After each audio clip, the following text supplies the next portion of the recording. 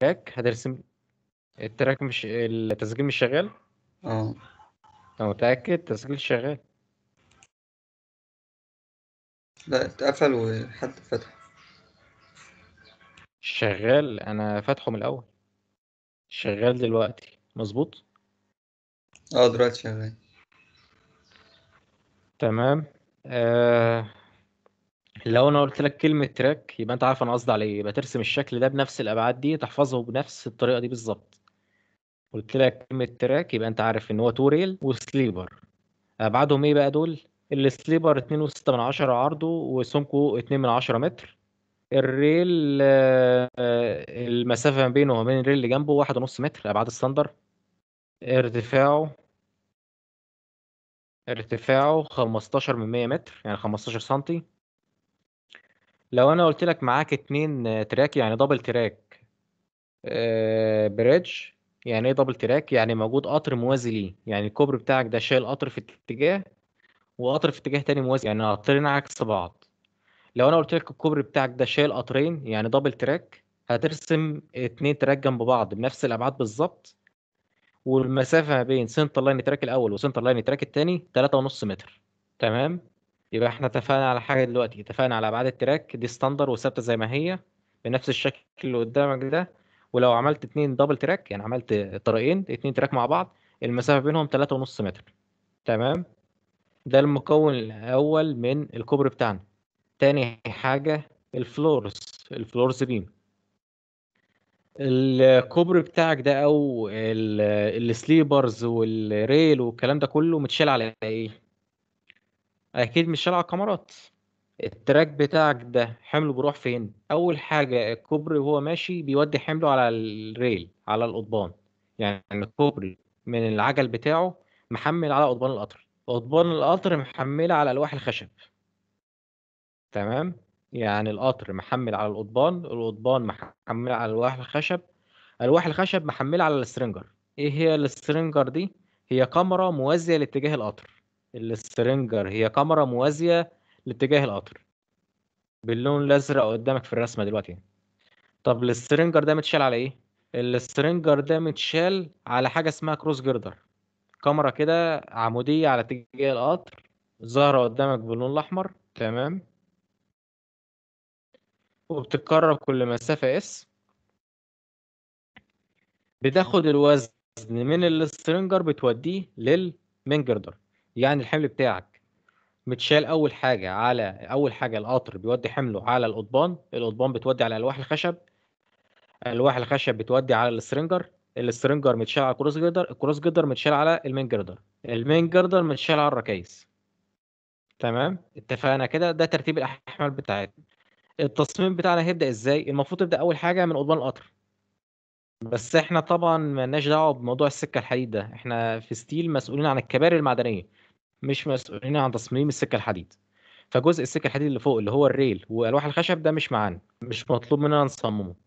مطلوب مننا نصمم إيه؟ أول حاجة نصممه هو ال stringer بعد ما نصمم ال stringer هنصمم cross girder بعد كده نروح إيه لل main girder آه ال main girder بقى بتاعتنا الترم ده هتبقى plate girder زي ما قلت لكم في إنشاءات بياخدوا plate girder وبياخدوا truss الفرق إيه طبعا؟ ال plate طبعا بيشيل span ات يعني بيتحمل على span ات أقل بكتير من ال truss يعني ال truss طبعا أنتوا عارفين إن ال depth ال truss بقى كبير. فال truss بيخلي ال span بتاعي يكبر إنما ال plate بقى span قليل شوية.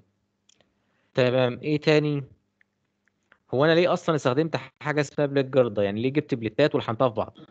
يعني ليه استخدمت قلت إيه هنصمم النهارده كوبري ونوع الكمرة الرئيسية بتاعته plate girder ليه؟ لأن أنا لما جيت أصمم الكوبري بتاعي ده وحسبت ال depth بتاع ال main girder اللي أنا محتاجه لقيته معدي 2.5 متر. يعني دبس المين جردر بتاعي مع 2.5 3 متر وأكتر كمان من 3 متر. طب إيه المشكلة يعني؟ ما نخش جدول القطاعات وننقي قطاع ونصمم. دخلت جدول القطاعات لقيت أكبر حاجة موجودة هو متر. وقطاع المتر ده أصلا يعني صعب تلاقيه كمان. تمام؟ فأنا دخلت جدول القطاعات ما لقيتش قطاع طوله 3 متر ما لقيتش قطاع يعني دبسه 3 متر. طب أعمل إيه؟ هل ما صممش؟ هل انقل على ترس على طول؟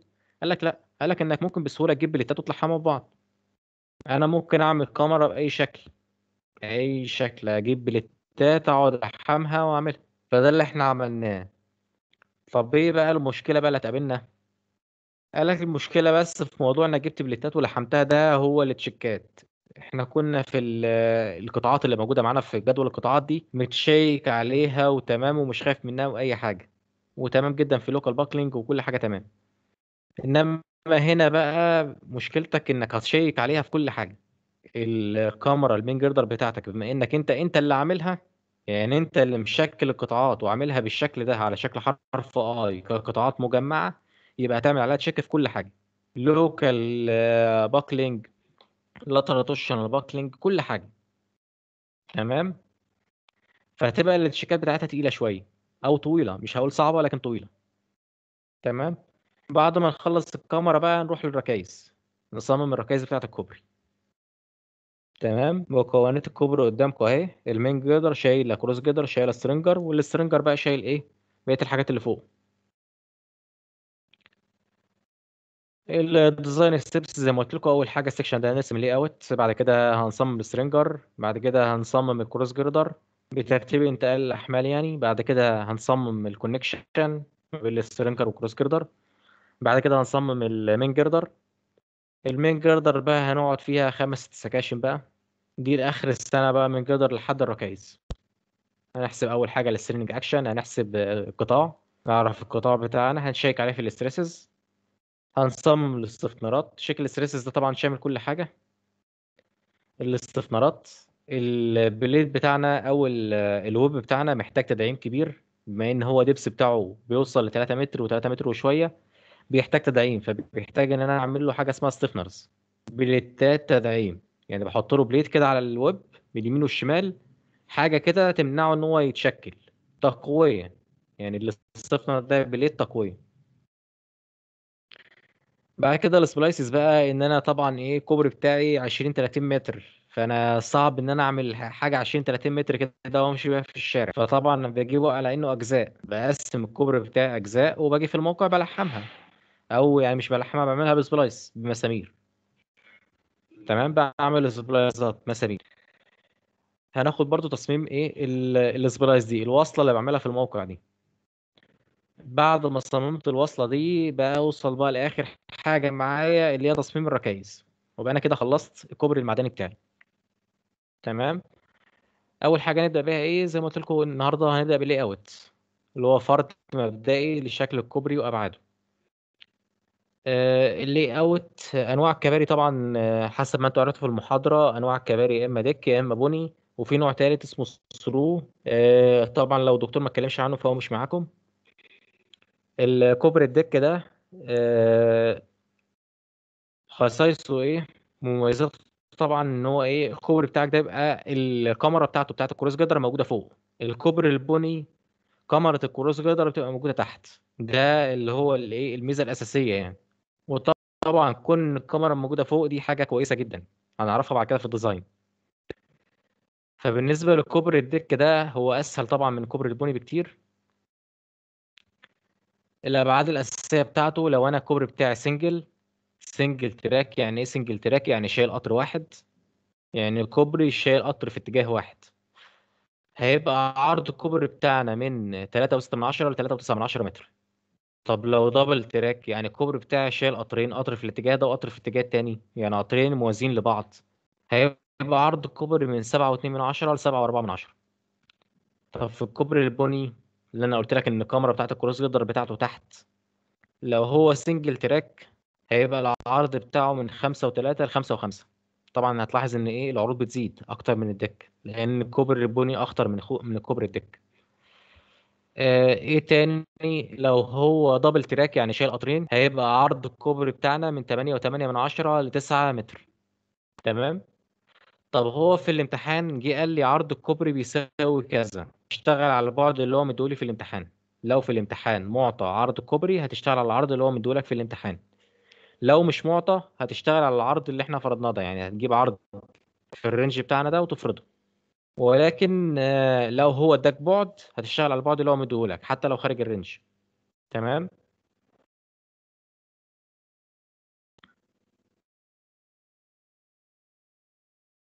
شكل بقى تقسيمة اللوحة بتاعتنا أول حاجة بنرسمها هو ال side view ال scale بتاع ال side view واحد لخمسة وعشرين أو واحد لعشرين واحد لعشرين أو واحد وخمسة وعشرين. آه، بيترسم في ناحية اليمين. آه، بيبان فيه كل حاجة بقى ناخدها بالتفصيل دلوقتي. على الشمال آه، ب scale واحد لمية ترسم ال elevation تحته plan ال upper bracing تحته plan ال lower bracing تمام؟ بالترتيب كده. الإليفيشن والبلان الأبر بريسنج والبلان اللور بريسنج سكيلهم واحد لمية. ال side view scale واحد لعشرين وواحد لخمسة وعشرين. في اليمين كده بنعمل النوتة بتاعتنا ال- الهامش بتاعنا. بنكتب بقى فيه الأبعاد بالملي ال- الحديد بتاعنا نوعه كذا. أي بقى معلومات مكتوبة قدامك أو أنت عارفها على المشروع بتكتبها. كده يعني. المسامير اللي استخدمتها إيه؟ الكلام ده. ناخد مثال عليها كده. معاك كوبري railway bridge.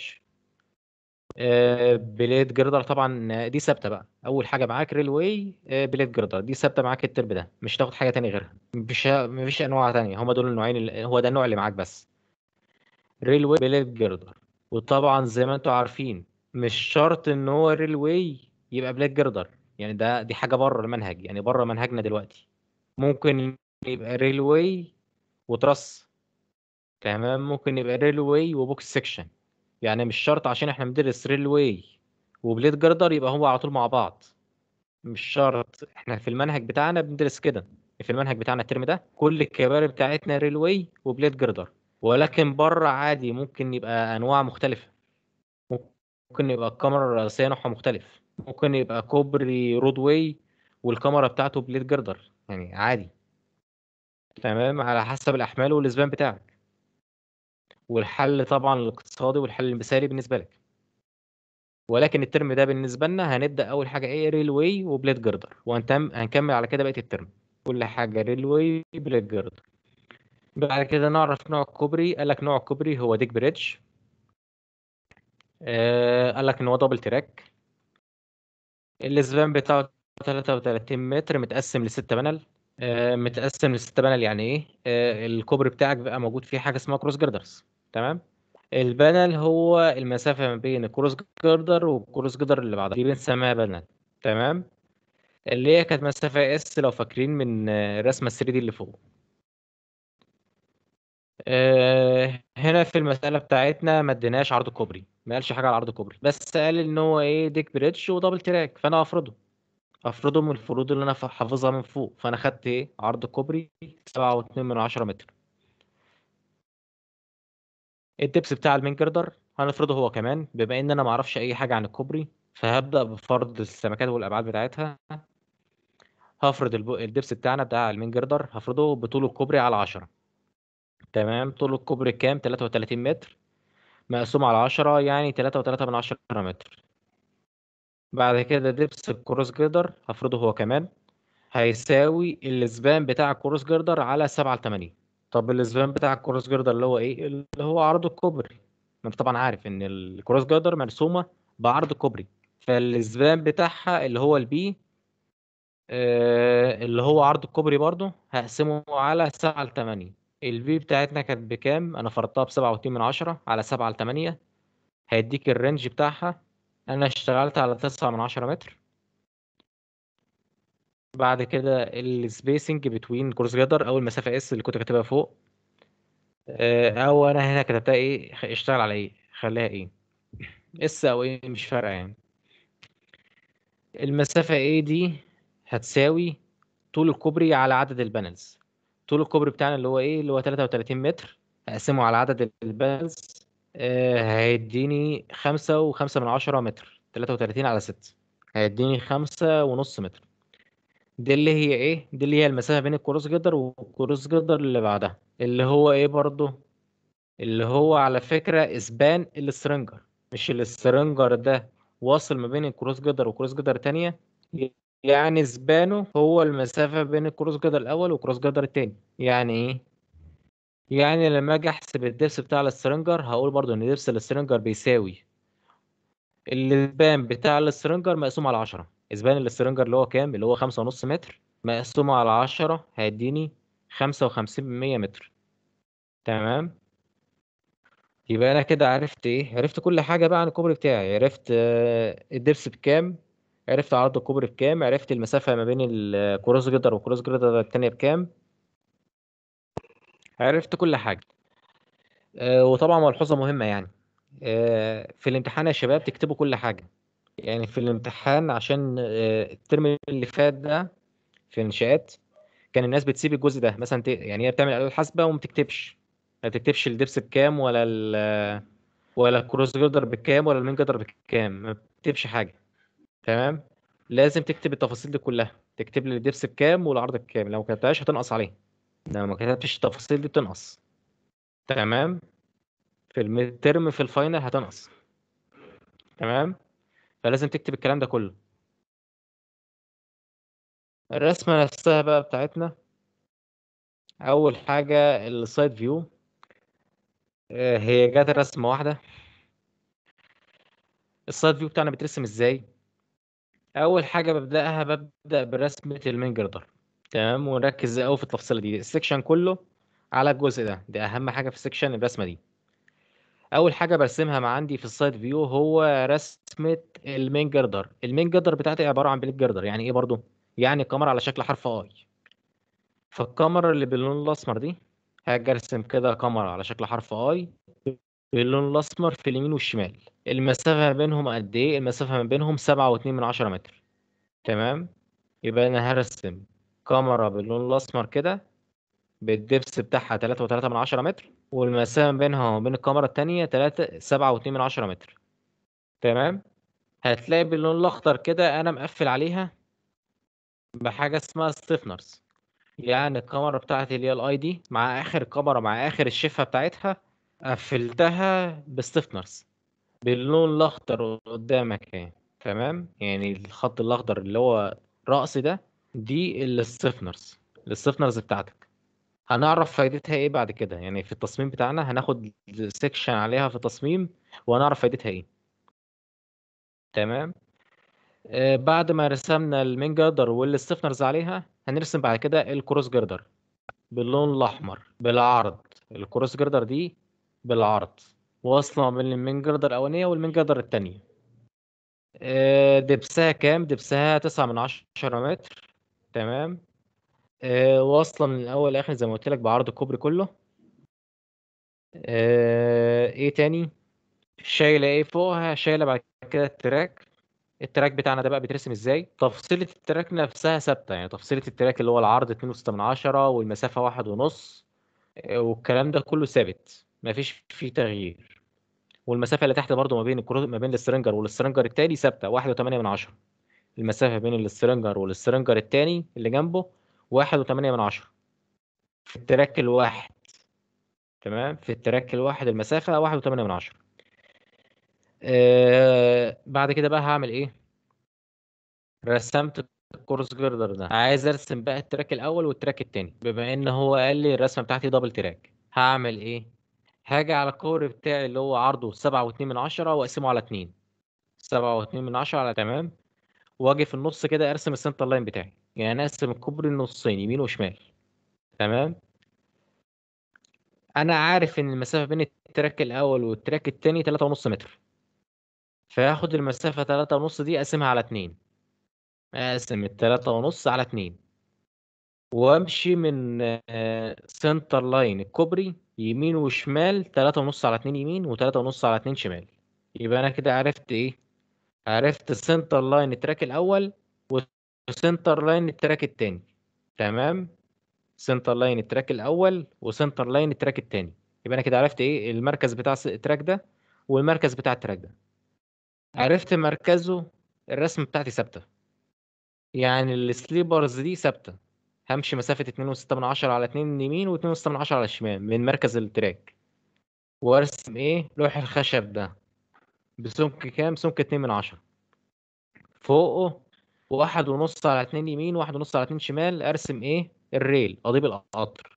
ارتفاع قضيب القطر ده كام؟ ارتفاع قضيب القطر خمستاشر خمستاشر سنتي. المسافة بينهم زي ما قلت لك اللي هو إيه؟ الواحد ونص متر. شكله إيه؟ مش هسألك على شكله قوي يعني ترسم لي indication بس. indication كده لشكل قضيب القطر. مش هحاسبك عليه يعني أو بس يبقى شكل إيه؟ أنت عارف شكل قضيب القطر عامل إزاي. تمام. فترسم لي indication يعني مش هحاسبك على شكله قوي يعني. انما بس يبقى ال depth بتاعه 15 سم والمسافة بينه وبين ال- التاني واحد ونص متر. من تحت بقى هرسم ال stringer ال stringer بتاعي بيترسم إزاي؟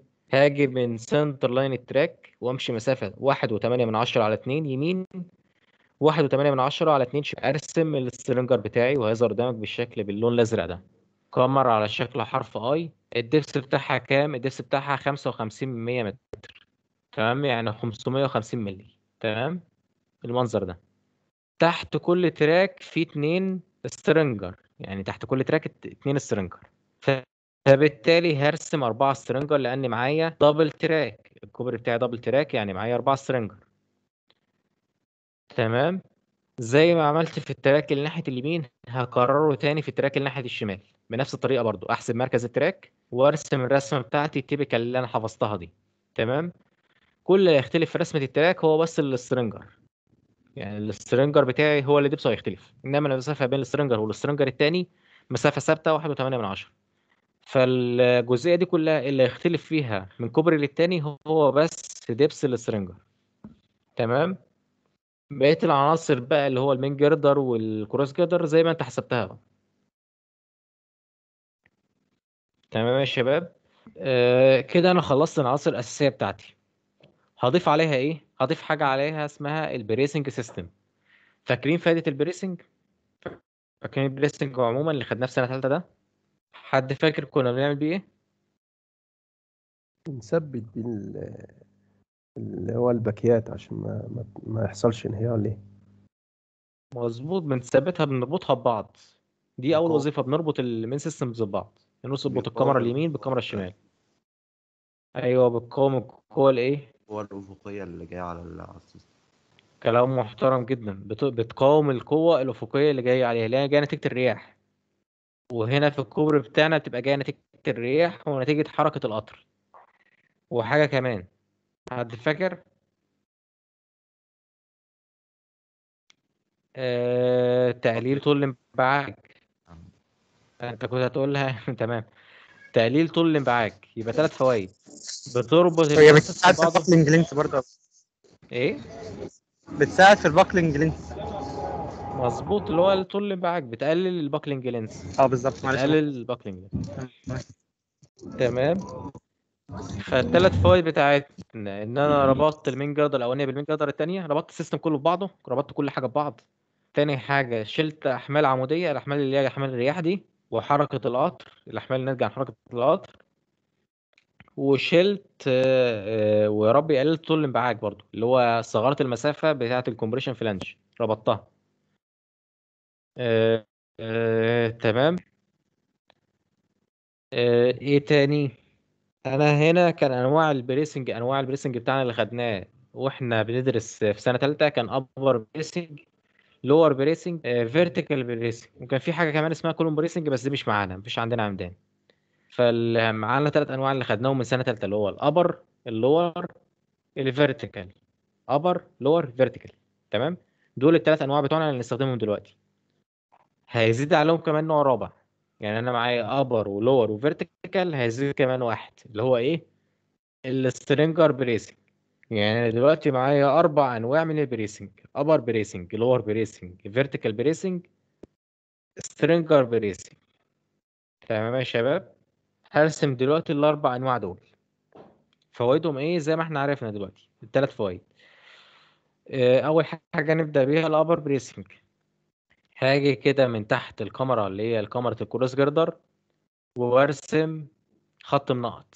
ده indication لوجود ال upper bracing آجي من تحت خالص وارسم ال lower bracing خط النقط برضو من الأول للآخر.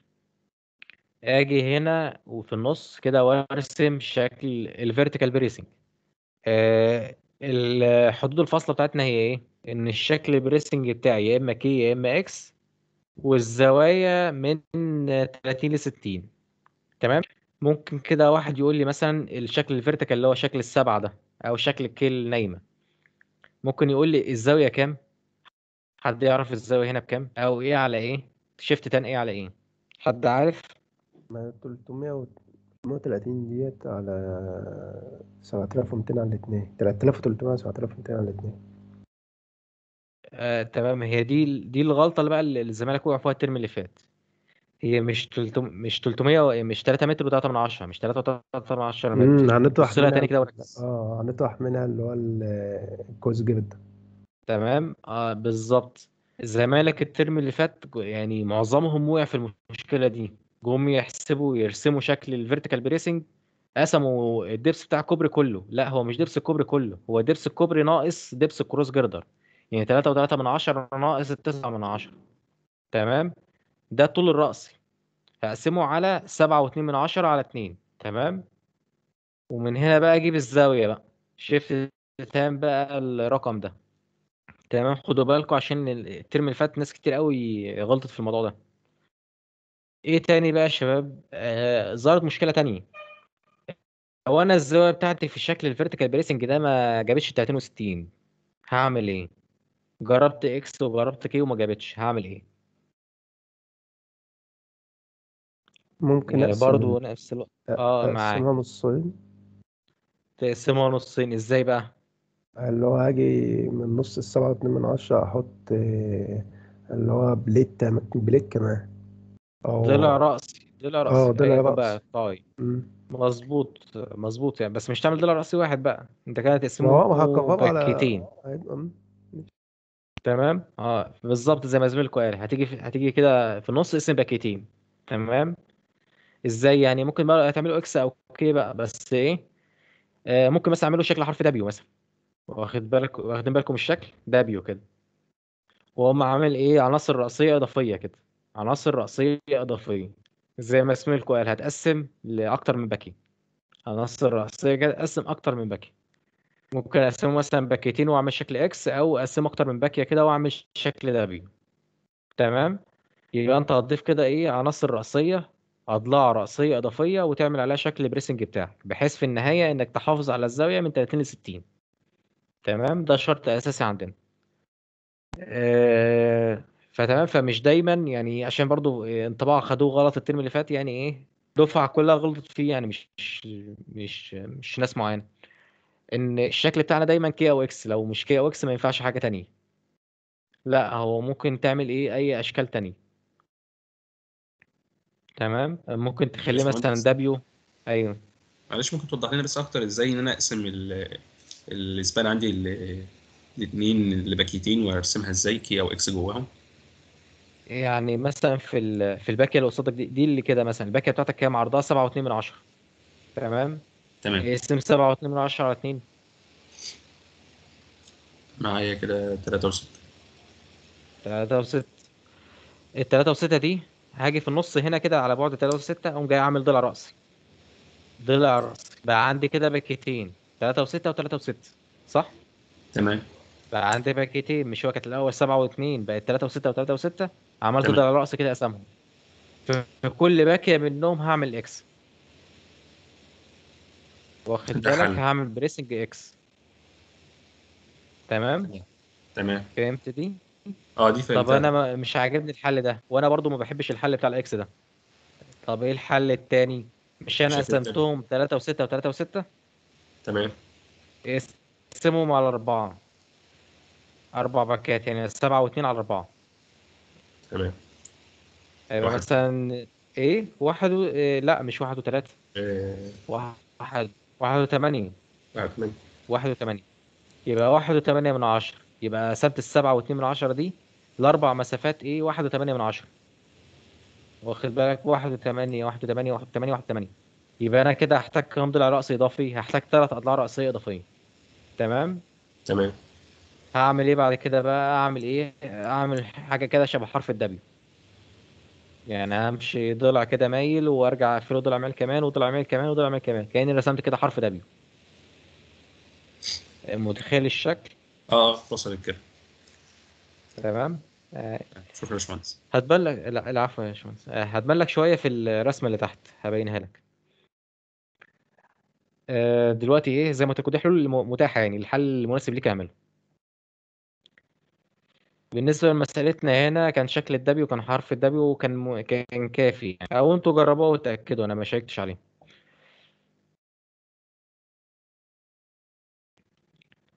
مبدئيا الأول آه، الرسمة اللي فوق دي.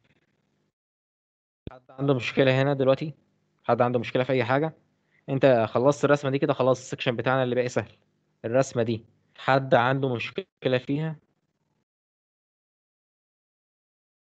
حد عنده مشكلة في الرسمة دي؟ مش فاهم فيها أي حاجة؟ دي ال section كله يعني ال section كله في في ال side view ده. آه في بس جزء تاني هقول لكم عليه كمان. آه الخط اللي بالأسمر اللي فوق ده الخط المنقط اللي بالأسمر ده. تمام؟ ده اللي هو بقى ال stringer bracing ده ال stringer bracing تمام؟ في واحد دلوقتي هيطلع يقول لي إيه؟ يا باشمهندس إحنا دلوقتي عملنا upper و lower و vertical مش كفايه دول؟ مش بيشيلوا الأحمال العمودية وبيعملوا كل الكلام ده؟ فعلا كفاية يعني هو بيشيلوا قوة كبيرة وبيقاوموا معايا والكلام ده. بس في قوة كمان إضافية أنت مش واخد بالك منها. القوة الإضافية دي جاية من إيه؟ لو أنت مثلا راكب القطر أنت طبعا كلكم ركبتوا قطارات قبل كده تمام؟ هل القطر بيتهز بيك؟ هل القطر اللي أنت راكبه بيتهز ولا ثابت في مكانه؟ ناس ركبت قطارات هل القطر بيتهز بيك ولا ثابت؟ بتحس كده باهتزاز؟ حد فيكم ركب قطر قبل كده؟ المفروض يعني هو بيهتز آه آه بت... بتحس كانوا بيمرجحك كده كانت بتمرجح مم. القطر بيتحرك كده عمال يتهز. تمام؟ الهز دي جاي من إيه بقى؟ إن القطر بتاعك ده اللي- طبعا أنت واخد بالك إن المسافة بين قضيب القطر وقضيب القطر اللي جنبه واحد ونص متر. فطبيعي يعني أنا مش هعمل المسافة بين العجلة والعجلة واحد ونص متر. تمام؟ مش هدخل القطر حشر يعني مش هدخل قطر حشر جوه ال- القضيب يعني. مش هحط العجلة محشورة جواه. لا ما بقاش كده. إحنا بايه بيبقى في مسافة خلوص كده بيسيبوها ما بين عجلة القطر وما بين القضيب بتاع القطر. في خلوص كده بسيط تمام؟ الفراغ الخلوص ده بقى نتيجته إيه؟ نتيجته ان القطر بقى بيتهز. هو مش مش لازق قوي في ال في ال يعني على القضيب. يعني العجلة مش نازلة إيه عاشق ومعشوق مع القضيب. ففي مسافة الفراغ ده بقى بيتهز بقى بيروح يمين شوية شمال شوية وهكذا. فتلاحظ انك ماشي بالقطر كده عمال بيتهز بيك. هز طبعا المفروض هزة خفيفة يعني مش مش بيمرجحك بيمرجحك يعني هزة المفروض خفيفة. الموضوع يعني ما تبقاش مسافة كبيرة المفروض يعني. تمام؟ آه، المشكلة إيه بقى في الحركة دي؟ يعني مشكلة إيه إن القطر يروح بيك يمين وشمال؟ المشكلة إن هو بيروح يمين بيقوم خابط القضيب اللي في ناحية اليمين. عامل له خبطة بجنب كده. زي ما أنت مثلا بت- بتخبط زميلك اللي جنبك بالكتف كده. بتميل عليه باليمين مثلا بتخبط زميلك اللي جنبك باليمين. تميل عليه بالشمال تخبط زميلك ناحيه الشمال. فمع حركة القطر يمين وشمال عمال يخبط في القضيب الأول والقضيب التاني. رايح جاي عليه خبط في ده شوية ويرجع للتاني خبط في ده ويرجع للتاني وهكذا. تمام؟ الخبطة دي عبارة عن إيه؟ مش قوة؟ يعني الخبطة الرزعه دي اللي هو يخبط في ده ويخبط في ده مش دي قوة بتتولد؟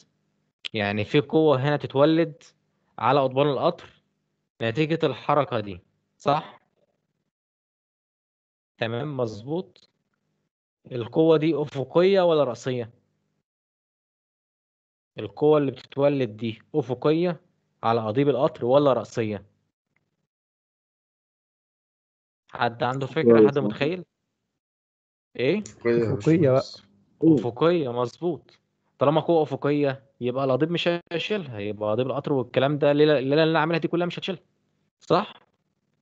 إحنا اتفقنا إيه؟ ده بيشيل أحمال رأسية. ال main system بتاعنا أحمال رأسية. الأحمال الأفقية دي بقى اللي هي ناتج الرياح وهزة القطر والكلام ده بقى ليها حاجة اسمها bracing system تمام؟ فبسبب الحركة اللي بتحصل للقطر دي الحركة الاهتزازية دي والتخبيط اللي بيحصل يمين وشمال في قضبان القطر بتتولد قوة على قضبان القطر. نتيجتها إيه؟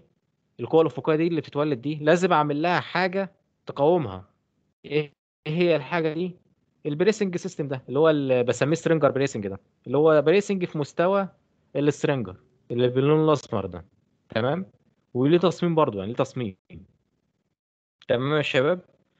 فأنا عرفت كده إيه؟ عرفت إن أنا بستخدم كمان زيادة عن ال bracing system اللي كنت بعمله في سنة ثالثه زودت حاجة اسمها stringer bracing آه، وعرفت فائدتها إيه وعرفت بيشيل قوه عاملة إزاي. تمام يا شباب؟ كده أنا خلصت ال side view حد عنده مشكلة في ال side view حد مش فاهم حاجة؟ ننقل على اللي بعده؟ ننقل على اللي بعده حد عنده مشكلة؟ لسه وقت طويل يعني. ننقل ننقل يا باشمهندس ماشي. بعد كده نكمل بقى في ال elevation. ال elevation بتاعنا آه، بيترسم إزاي؟ بنبص على كوبري طبعا من الجنب. إيه اللي هنشوفه من الجنب؟ هنشوف أول حاجة الركايز. هنشوف بعد كده شكل الكمرة بتاعتنا شكل الكمرة بتاعتنا اللي هي شكل حرف I إسقاط الكاميرا للحرف ال I بعمله إزاي؟ بعمل خط فوق كده بالأسمر أهو خط فوق وخط تحت. ده إيه؟ indication للكاميرا ال I بتاعتنا اللي هي الكاميرا الرئيسية ال main girder. ال main girder بتاعتنا دي ال depth بتاعها كام؟ ال depth بتاعها زي ما أنا حسبته 3 و3 من 10 في المسافة 3 و3 من 10 جيت عملت حاجة كمان جيت من اليمين والشمال عملت بروز مقداره من 3 من 10 ل 35 من 100 يعني واخد بالك؟ من بعد الركيزة يمين وشمال طلعت كده ببروز 3 من 10 ل 35 من 100 متر. اللي هو 30 ل 35 سنتي. تمام يا شباب؟ فدي أول حاجة لاحظناها. رسمنا الكاميرا بتاعتنا من الأول للآخر خط تحت أو خط فوق. وطبعا في النهاية قفلناها. يعني قفلنا ال- القطع بتاعنا بقى نهاية الكاميرا من اليمين والشمال فظهر قدامنا شكل مستطيل أسمر. تمام؟ ظهر قدامنا شكل مستطيل أسمر. باشمهندس. ده إيه؟ أيوه. الملف بتاعنا ناقص فيه حاجات عن حضرتك تشرحها. يعني الرسمة دي مش موجودة عندنا. آه، تمام. هظبطها لك. هو الملف بتاعكم آه، في رسمة جت على رسمة. آه وفي برضك واخد اللي هي بالك؟ يعني في المسافات. هظبطها وابعتها لكم تمام؟ تمام كده. ده كان أول section عملناه الترم اللي فات يعني أول بدايه الاونلاين ده كان أول section عشان كده في تفاصيل كتير ما كانتش إيه ما كناش لسه خدنا بالنا منها. حتى تلاقي إن ال animation والكلام ده إيه كان لسه بدائي شوية. أه هظبطها لكم إن شاء الله وأبعتها لكم. تمام؟ وفي بس رسمة جت على رسمه آه آه آه تمام جدا. تمام؟ باشمهندس. وفي باشمهندس. حد بيتكلم في أيوه. أيوه بقول لحضرتك هي إيه لازمة البروس اللي حضرتك عملته ده؟ ده بس بروز يعني هو بص الطريق بتاعك أو قضيب القطر بتاعك يعني إيه؟ آه لما تيجي تسلم لسكة القطر العادية من الكوبري مش فيه يعني إيه؟ مش هتعمل جسم الكوبري على طول على أول الطريق. يعني مثلا أنت أنت أنت حفرت وعملت ركائز وعملت مش عارف إيه مش تعمل الركيزة بالظبط بالظبط يعني إيه؟ على وش على وش الأرض. يعني أنت عارف بداية بداية الايه يعني أنت مثلا جاي على عائق مائي عائق المائي بتاعك عندك عائق مائي وعملت الكوبري بتاعك هنا تمام؟ في قطر في القطر كان ماشي الأول على الأرض عادي وبعد كده جه على الكوبري.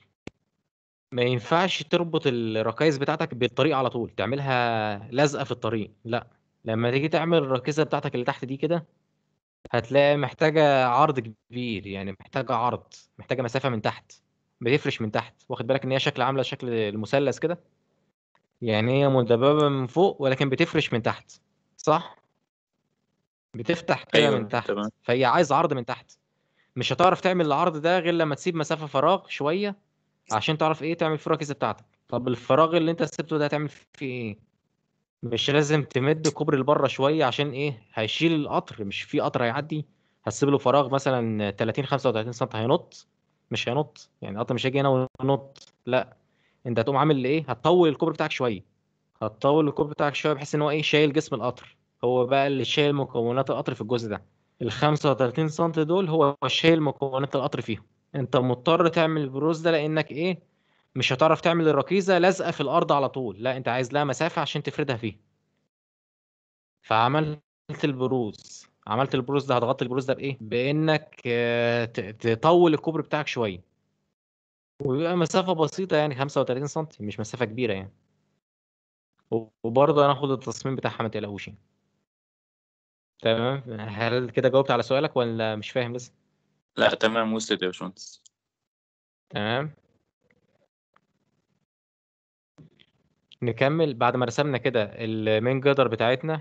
المستطيل اللي قدامك ده باللون الأسمر. ال- نعمل بعد كده إيه؟ آه، نبدأ نحط ال cross girders ال cross girders فوق ولا تحت؟ الكوبري بتاعي ده deck فال cross girders بتاعتي بتبقى فوق.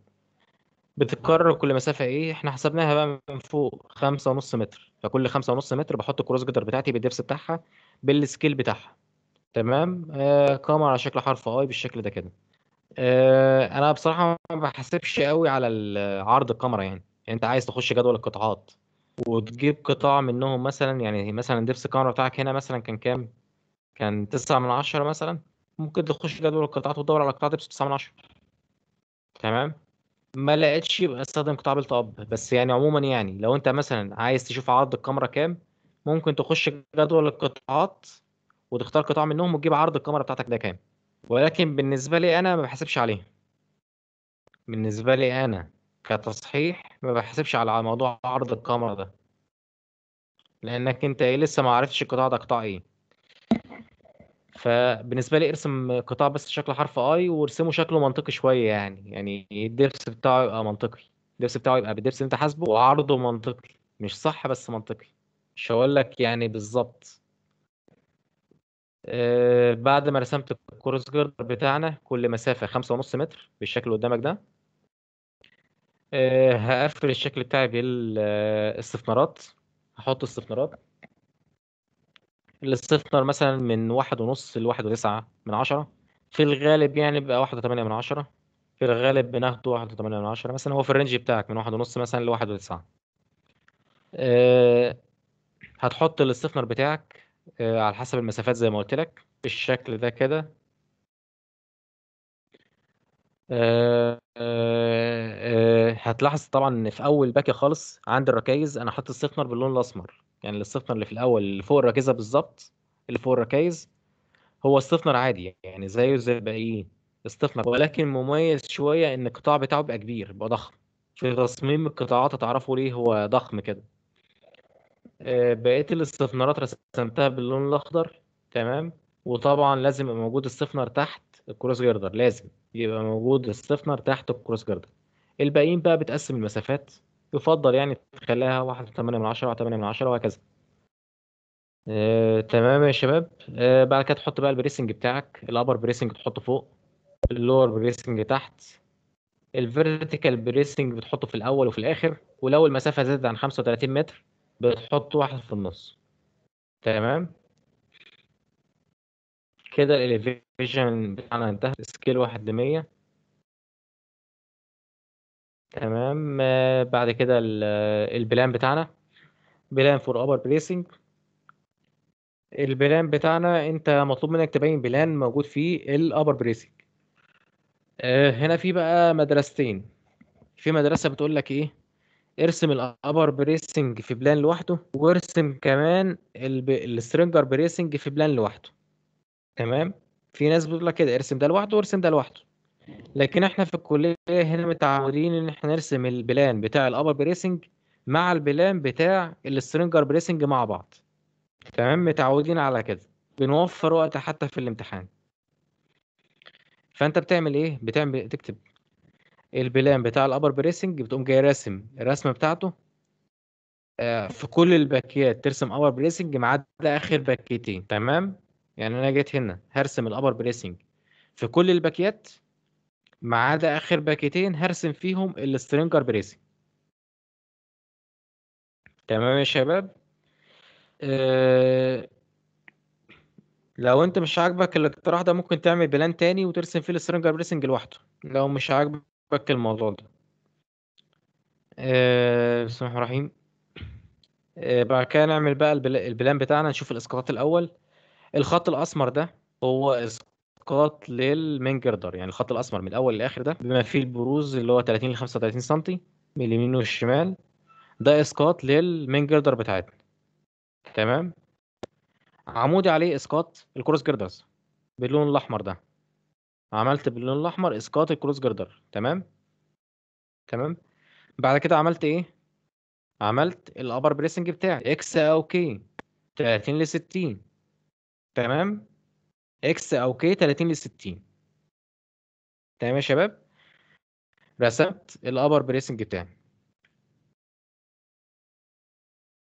جيت بعد كده إيه؟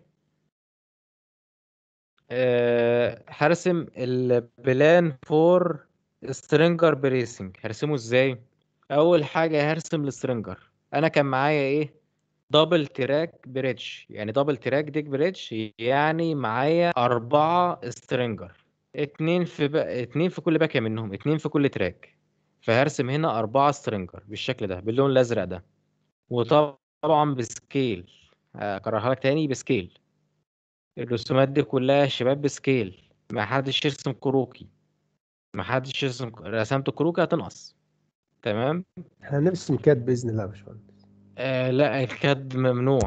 الكاد بتسلموه لبعض. يعني لا والله بيعمل الكاد وبي... وبيدي للتاني يعدل فيه وهكذا. لا لا وغير كده كمان يا. باشمهندس ما انت في الامتحان هترسم بإيدك يعني. هو في انت الامتحان بتيجي بس في الآخر في الامتحان بترسم بإيدك. فيبقى أحسن لك ترسمها دلوقتي بإيدك هتبقى اتدربت نفسك على الأقل مرة. يبقى على الأقل مرة في يعني قبل ما تخش الفاينل. ده رسمتها بإيدك. إيه؟ تعب والله. مش عارف مش عارف تعبينك إحنا أنا عارف. يعني نقول يعني يعني أخي التيم يعني خلانا يعني بنزق التيم ده عشان يعدي والله. الترم بقى هندسة كل سنة وأنت طيب يعني. وأنتوا طيبين وكل سنة وأنتم طيبين رمضان خلاص داخل علينا. أيام مباركة يعني. باشمهندس. فخير ده أنتوا دفعة شافت الدلع يعني شافت الأونلاين ده والامتحان. إحنا حقيقة شفنا كل لا لا مهندس إحنا شفنا كل مش محطوط عليها في على حتة. أنا خايف عليكم بس يتقال عليكم دفعه الكورونا يعني. خايف عليكم من كده. ولسه ما إحنا نتخرج بس هندسة وقولوا علينا زي ما تقولوا. أي قولوا اللي أنتوا حابينه بس أهم حاجة نتخرج. لا إن شاء الله تتخرج ما تقلقش إن شاء الله. يبقى ترم كويس إن شاء الله. آه خير يا باشمهندس إن شاء الله. ده خمس مواد يعني إن شاء الله يبقى ترم كويس. إن شاء آه الله نكمل. إن شاء الله. آه نكمل. آه دلوقتي بعد ما رسمنا هنا ال stringer أربعة stringer باللون الأزرق كده. آه هنرسم عليهم بقى دلوقتي ال stringer bracing ظهرت لي المشكلة اللي كنت بكلمكم عليها فوق لو أنا جبت X من الأول للآخر هنا مش هت safe في 30 ل 60 لو أنا عملتها كي برضو مش هتنفع مش هتجيب 30 ل 60 فاضطريت أعمل إيه؟ زي ما قلت لكم فوق جيت قسمت المسافات. هنا قسمتها مثلا المسافة دي كانت خمسة وتمانية من عشرة. كانت المسافة دي خمسة وتمانية من عشرة قسمتها على تلاتة. تمام؟ تلات باكيات واخدين بالكم؟ آه وقمت جاي إيه عامل خطوط رأسية بالمنظر ده كده. آه في الخطوط الرأسية دي بعد كده قمت جاي إيه مقفل الشكل بتاعي بقى آه بالمنظر ده. أضلاع diagonal كده. يعني أنا عملت أضلاع رأسية كده قسمت العنصر بتاعي لتلات باكيات بالشكل ده كده بعناصر رأسية قمت جاي مقفله كده كأني برسم إيه كأني بعمل حرف ال W كده أو برسم سبعة وتمانية سبعة وتمانية وهكذا بالشكل ده. ده حافظ لي على الزاوية 30 ل 60 آه، طبعا في الامتحان في المسافات والكلام ده يعني إيه حاول تخلي المسافة اللي أنت قسمتها قريبة من واحد وتمانية من عشرة. يعني حتى مش هقول لك حسابات وكده يعني آه، أنت طبعا تحسبها وتشوف الزاوية بالظبط كام يعني بس أنا في الحاجات دي بحاول أخليها قريبة من واحد وتمانية من عشرة بحيث إنها تبقى إيه واحد وتمانية من عشرة أفقي واحد وتمانية من عشرة رأسي يعني قريبة من خمسة وأربعين. يعني لو ما عرفتش يعني عادي خليها بس قريبة من واحد وتمانية من عشرة. تمام؟ بحيث إن تبقى الزاوية بتاعتك قريبة من خمسة وأربعين. آه، بعد ما رسمت بقى الأضلاع بتاعتك دي اللي هي تمانية وسبعة وهكذا يعني تعمل كده فوق وتحت على ده وده. اللي هيتبقى لك بس في الرسمة بتاعتك بتاعة ال plan في ال upper bracing هو ال vertical bracing ال vertical bracing هترسمه خط النقط في الأول وفي الآخر في أول باكية وآخر باكية. والسبان بتاعنا هنا كان 33 متر يعني أقل من 35 فمش محتاج أعمل واحدة في النص. آه، كده بس فقط لا غير. بعد كده تحط الأبعاد بتاعتك. الأبعاد طبعا كلها بالملي كل الأبعاد بالملي. آه، كل حاجة بقى تح- تحط الأبعاد بتاعتها بقى. العرض الكوبري كام؟ سبعة واتنين من عشرة عرض التراك واحد وتمانية. الباكيات ستة في خمسة ونص تلاتة وتلاتين متر. كل طبعا كل ده بال بالملي يعني تلاتة وتلاتين ألف ملي كل حاجة بالملي. آه، تمام. آه، بعد كده على الرسمة اللي بعدها. ال plan for lower bracing ال lower bracing نفس الوضع اللي رسمناه فوق يعني هنيجي برضو هنا نرسم ال آه، أول حاجة ال main girder بالخط الأسمر ده ومع البروز يمين وشمال. آه بعد كده هنا نيجي هنكتشف إن ما عندناش تحت آه cross girder ال cross girder موجود فوق بس ده أول فرق أهو. يعني هنا اكتشفنا إن إحنا مش هنعرف نحط cross girder للأسف. مفيش cross girders تحت. فبالنسبة لي هرسم البتاع ده من غير ما أحط cross girder من غير ما أحط أضلاع راسية تمام؟ آه هيقابلني بس هنا إيه مشكلة. الشكل بتاعنا ده كده. لو انت راسم زي ما أنا راسم كده X ات لو انت راسم ال bracing بتاعك X بالشكل ده كده وفي النهاية ال X بتاعتك دي قفلت مع الركايز يعني إيه قفلت مع الركايز؟ يعني ال plan بتاعك ده ال plan اللي قدامك ده موجود فيه كام ركيزة؟ موجود فيه أربع ركايز صح؟ فأول الكمرة اللي فوق دي باليمين والشمال يعني في الكمرة اللي فوق دي في يمينها وشمالها في ركيزة في اليمين وركيزة في الشمال. الكمرة اللي تحت في ركيزة في اليمين وركيزة في الشمال. في أول الكوبري. مظبوط؟ عند كل كاميرا فيهم في ركي... في ركيزتين يعني كل كاميرا فيهم مش شايل على ركيزتين فأنا بالتالي بقى معايا كام؟ أربع ركايز. صح ولا غلط؟ صح ولا غلط؟ معايا ولا مش معايا؟ مظبوط يا باشمهندس. تمام. معايا كاميرتين كل كاميرا فيهم مش شايل على ركيزتين يبقى معايا كده أربع ركايز اللي فوق الكاميرا اللي فوق ركيزتين والكاميرا اللي تحت ركيزتين فأنا كده عارف إيه إن الركيزه بتاعتي موجودة فين؟ في ال corner ده. يعني عند التقاء الأضلاع كده زي ما أنتم شايفين. عند التقاء الضلع ال diagonal ده مع الضلع ال vertical ده. عند التقاء الأضلاع ده كده في ركيزه هنا وركيزه تحت هنا وركيزه هنا وركيزه في- تحت خالص كده اللي هو جنوب شرق. تمام؟ في كل ركن فيهم كده في ركيزة تمام؟ ال bracing بتاعي هرسمه بقى X أو K على حسب الزاوية 30 ل 60 لو ال bracing بتاعي في النهاية قفل معايا بحيث إن الضلع ال diagonal بتاع ال bracing ده آه، ربط مع الركيزة يعني قابل الركيزة يعني رايح على الركيزة بالشكل ده كده يبقى كده الرسمة بتاعتك تمام وما تعملش حاجة. تمام؟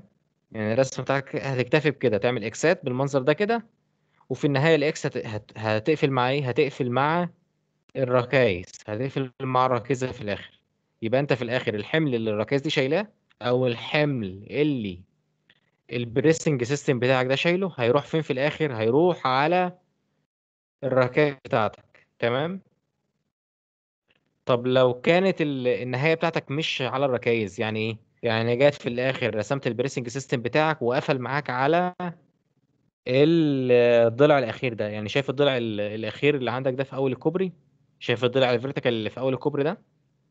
لو ال bracing بتاعك ده جاي معاه عمل K عمل حرف K معاه يعني لو ال bracing بتاعك جه في آخر الكوبري في أول وفي آخر الكوبري عمل شكل حرف K تمام؟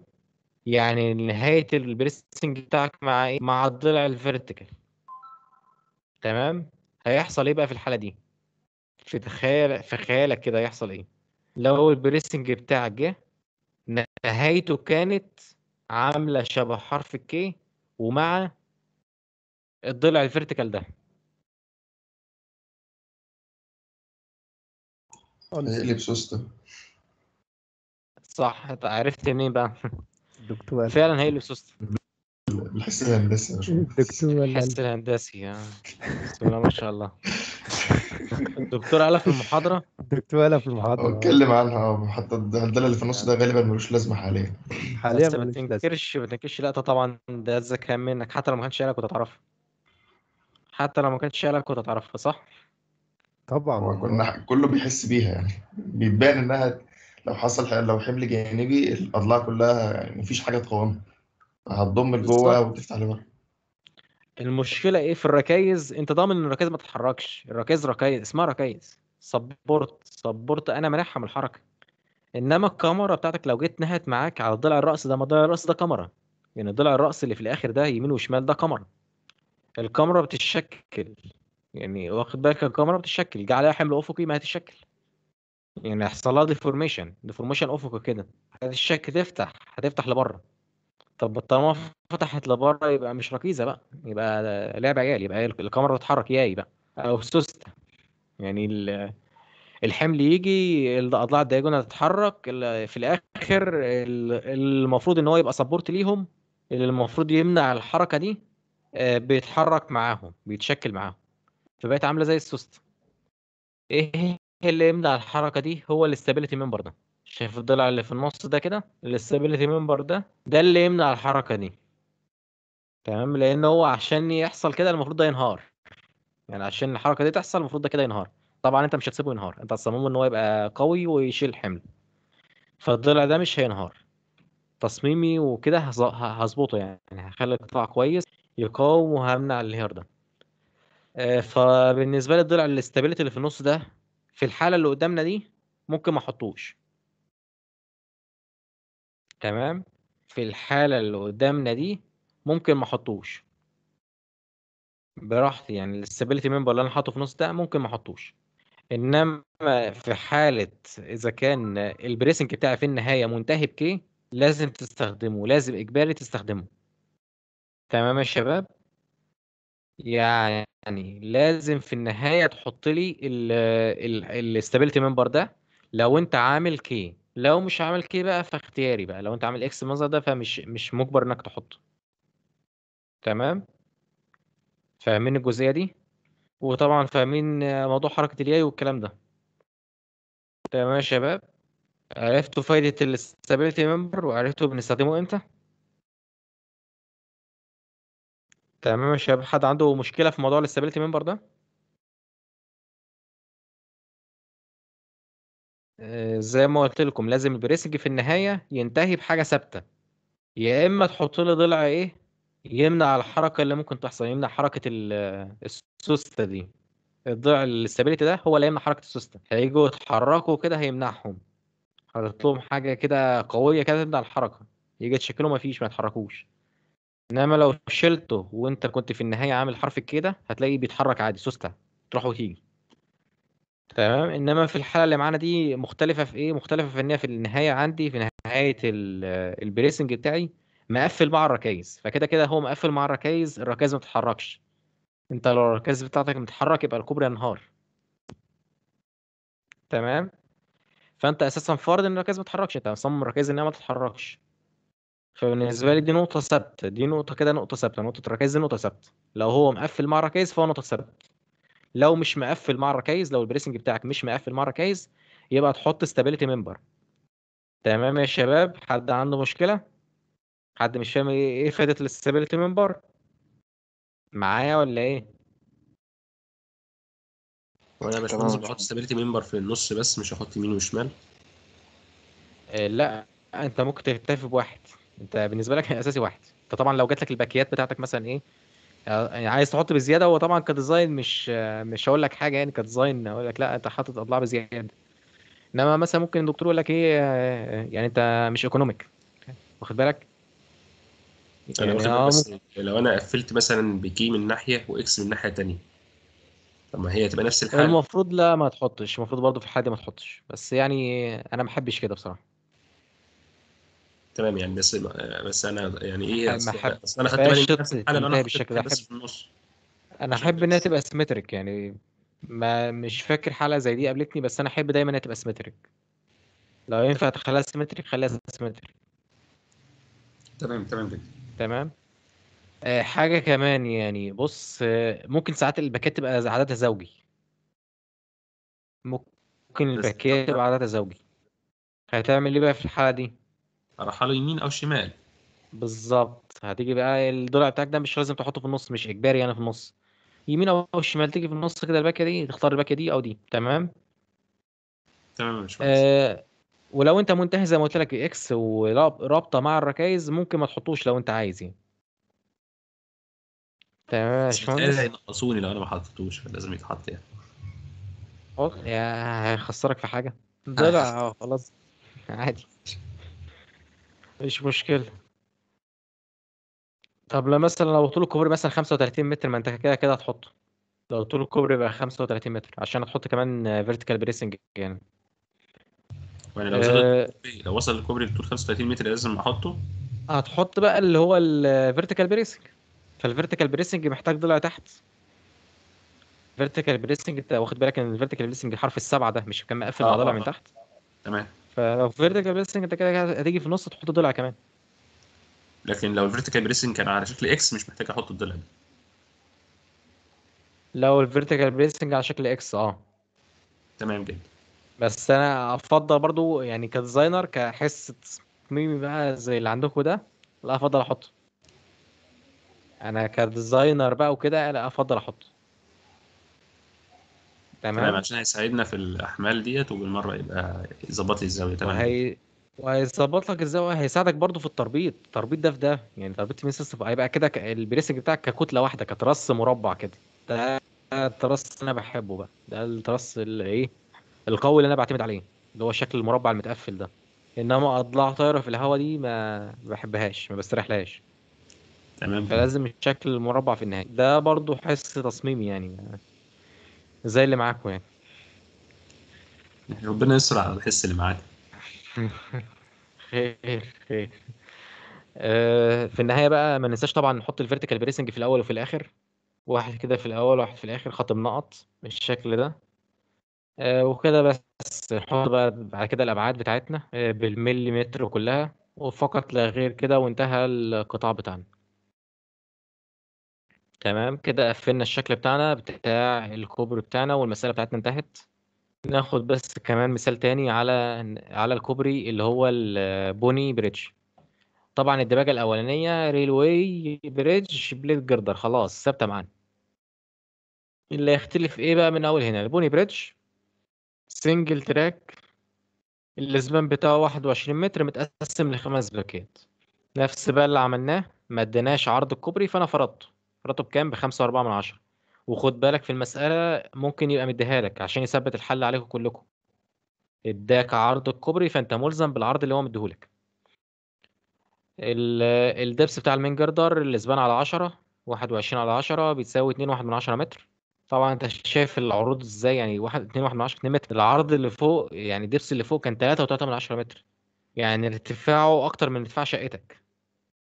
عشان بس تبقى متخيل ال... إحنا بنتكلم في scale عامل إزاي؟ ارتفاع الكمرة اللي كانت فوق دي 3 و3 من 10 متر كان أكتر من ارتفاع الشقة اللي أنت قاعد فيه واخد بالك؟ فطبعا أنا بتكلم في scale كبير يعني بتكلم حاجات ضخمة. آه، بعد كده depth cross girder آه، عرض ال يعني عرض الكوبري على 7 ل 8 يعني 5 و4 على 7 ل 8 ادينا 8 من 10 متر. ال spacing between ال cross girder اللي هو المسافة إيه هتدي هتساوي ال span على ال number of panels يعني 21 على 5 هيدينا 4 و2 من 10 متر. نحسب بعد كده depth ال stringer آه هيساوي المسافة إيه على 10 يعني 4 و2 من 10 على 10 هيديني 45 من 100 متر. تمام عرفت ال span ات وعرفت كل حاجة احطها زي ما هي كده. زي ما هي وما انساش اكتبها في الامتحان ما انساش اكتبها في الامتحان. تمام؟ دقيقة بس هنقف. دقيقة واحدة.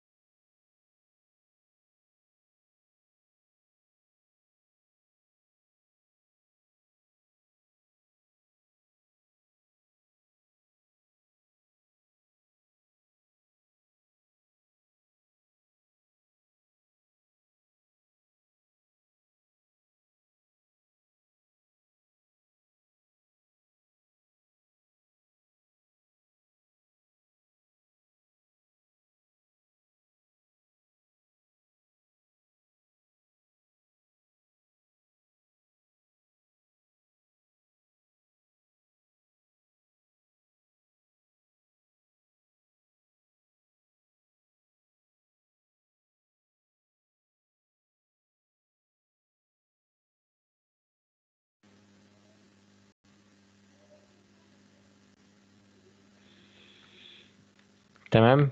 معايا يا شباب نكمل المسألة. آه، أول حاجة نبدأ بقى لل side view scale واحد وعشرين ال side view بتاعنا زي اللي فوق بالظبط نفس اللي عملناه فوق هنعمله تاني. ولكن مع اختلاف إن إحنا ننزل الكمرة اللي فوق هننزلها تحت يعني. كمرة ال cross girder كانت فوق في حالة ال deck وكانت طبعا دي حالة كويسة يعني. في ال design آه، ده أحسن.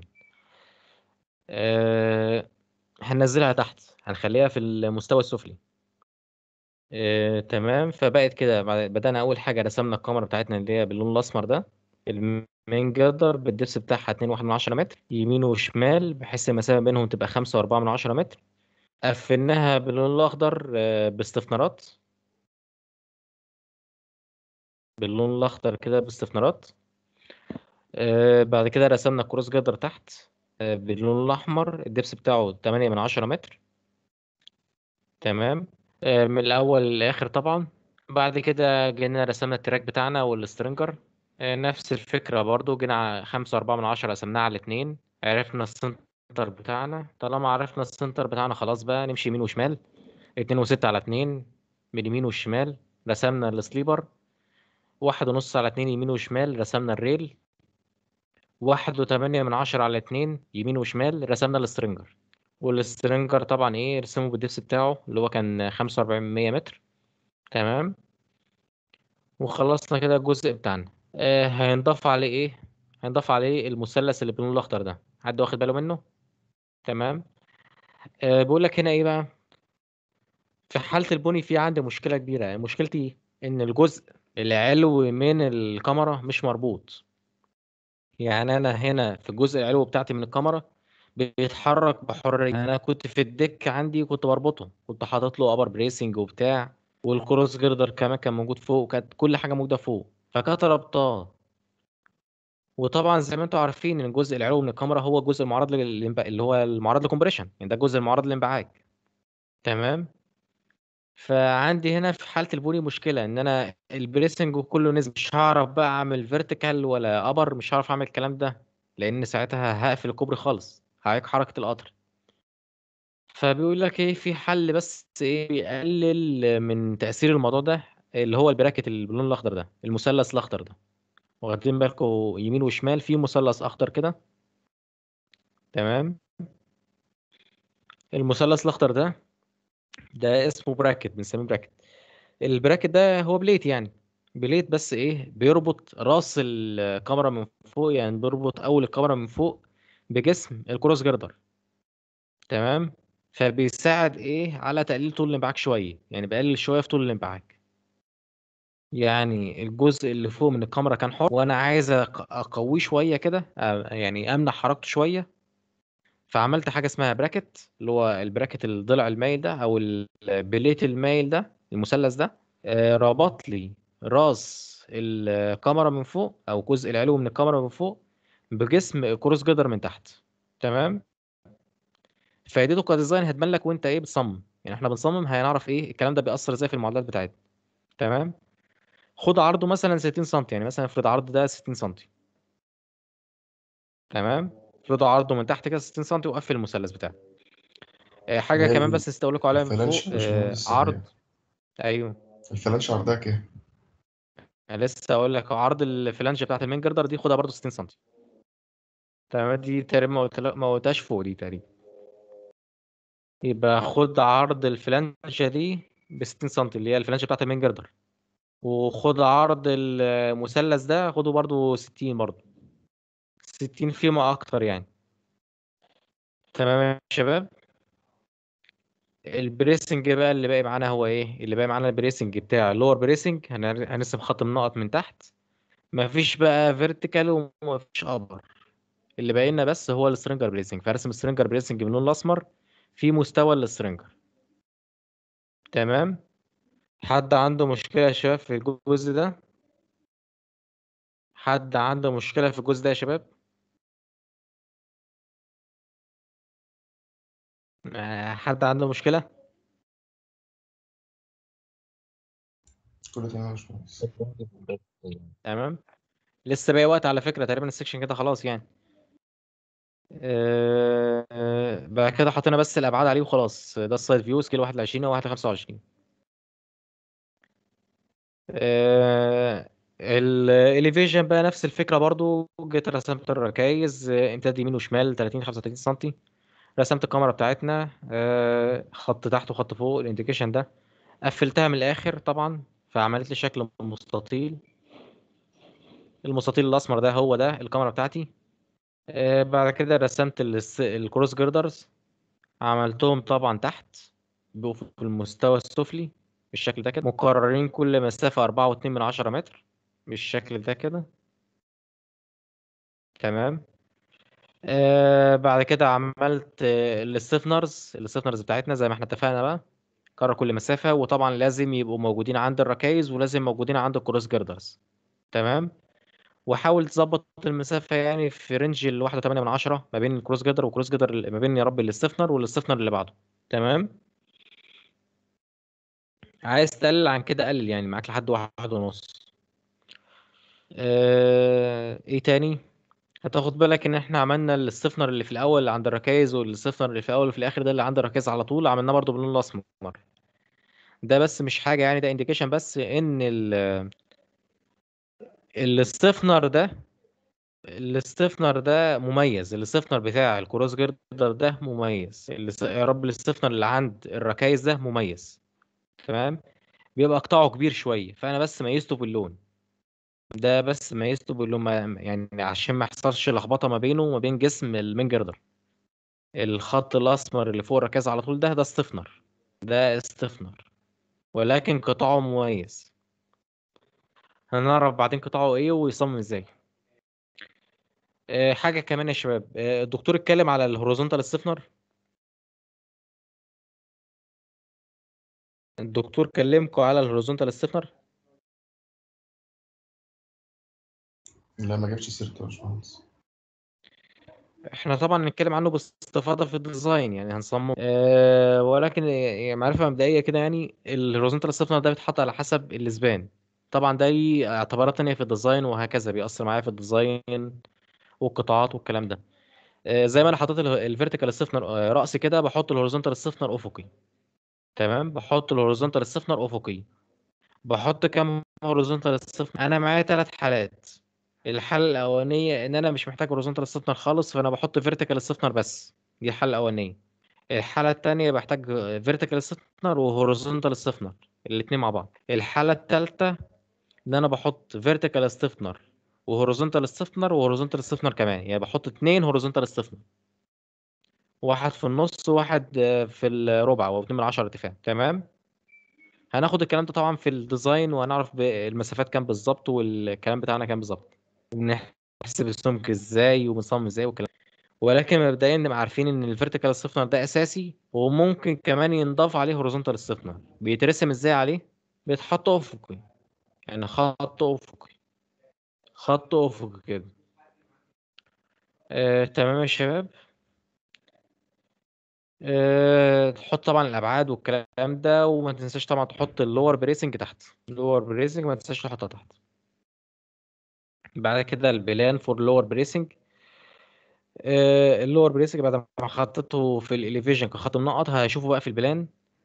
آه، قدامك طبعا طريقين يا إما ترسم plan for lower bracing و plan for stringer bracing يا إما ترسمهم الاثنين مع بعض. وأنا طبعا بفضل إيه؟ نرسمهم الاثنين مع بعض. هترسم ال plan كل الباكيات ال lower bracing وفي آخر باكيتين ترسم stringer bracing آه، هترسم أول حاجة طبعا ال main girder ال main girder بتاعتنا ترسمها الخط الأسمر ده. بعد كده تعمل اسقاط ال cross girder اسقاط ال cross girder باللون الأحمر ده. زي ما أنتم شايفين كده ده إسقاط ال cross girder لأن طبعا ال cross girder بقت تحت ما عادتش فوق. فتظهر معايا في ال plan بتاع ال lower bracing بعد كده تقفل الشكل ده بقطاعات ال X بتاعتنا X بالشكل ده اللي هو ال lower bracing. بعد كده بقى تيجي ترسم ال ال stringer bracing. هترسم ال stringer نفسه باللون الأزرق بالشكل ده كده. بعد كده تقسم المسافات وترسم ال stringer bracing زي ما عملنا فوق. سبعة وثمانية بقى أو شكل دبليو زي ما أنت تحب تسميها يعني. تمام بالشكل اللي قدامك ده. بحيث إن الزوايا طبعا 30 ل 60 تمام يا شباب. تحط بعد كده الأبعاد. خمسة في أربعة واتنين. تحط العرض خمسة وأربعة من عشرة والعرض ال- اللي هو المسافة بين السلنجر والسلنجر راح تمانية. آه، يعني إيه ظبطها يعني. املاها بقى الأبعاد كلها كل حاجة بالملي تمام؟ حد عنده استفسار؟ باشمهندس أنا كان عندي سؤال بس في المحاضرة. مم، ماشي. طب أقفل البتاع دي أقفل التسجيل دلوقتي. تمام. خلاص. أقفل التسجيل.